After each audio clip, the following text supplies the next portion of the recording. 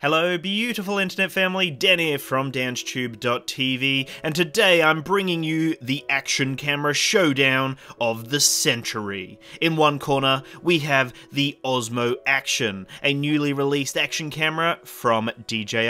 And then in the other corner, we have the current heavyweight champion of the world, the GoPro Hero 7 Black.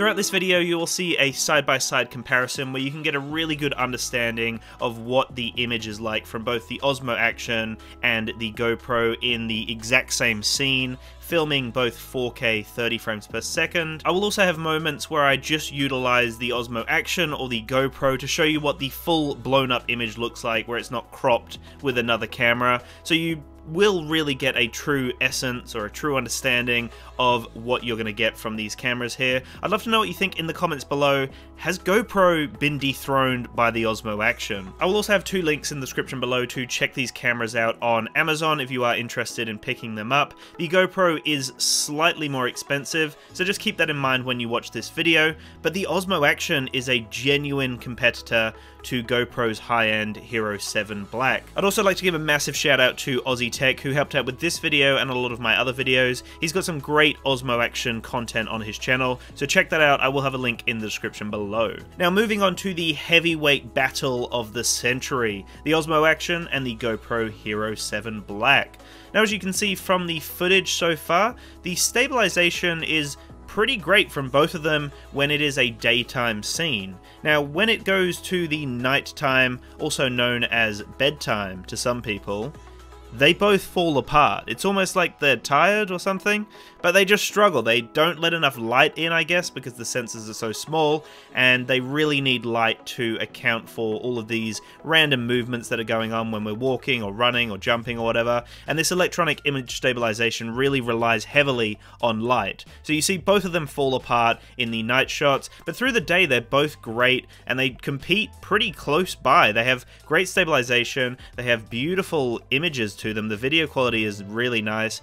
Um, I do notice that the Osmo Action has a slightly different look to the GoPro Hero 7 Black. The GoPro has more of a heavily saturated kind of color profile, but the Osmo Action is a bit more flat, I guess um, which is cool. It means that you're probably going to have a lot more to play around in post-production. But I think for me personally, I really like the image from the GoPro Hero 7 Black. So I think just as a default image that you can basically use straight away, the Hero 7 has that really nice color science to it, where the Osmo Action still has a really nice color science, but you might want to play around with it a little more in post-production to get those colors a little bit more fine-tuned and popping a little bit more. So I guess in terms of video quality, they both have a very solid high-end 4K video quality to them. They're both slightly unique in the way that they present their colors, and I think both of them with that infinity focus have a nice focal length because it's infinity focus,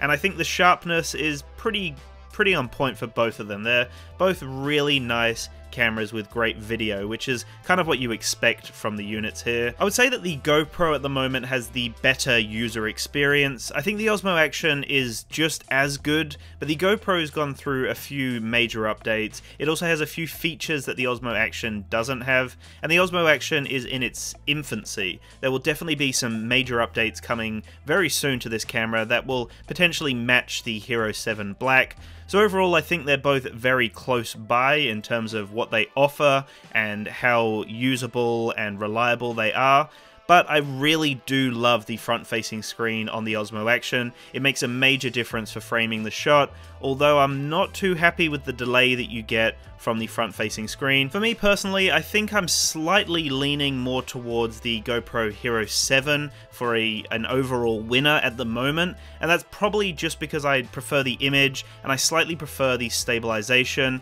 But then the Osmo Action still potentially has a lot more growth. It has some more big updates coming out soon, and it does also have that selfie screen as an added benefit there.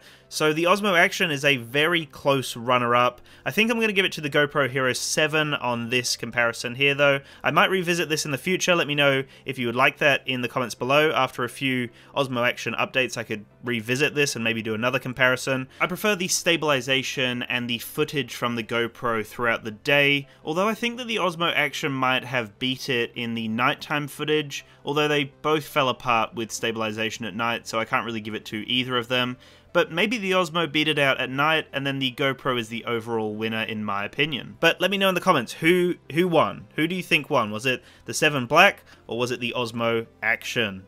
DJI's newest product, and their first action camera in the market. Let me know. Thank you so much for watching, make sure to have a fantastic day, subscribe for more content, and peace out.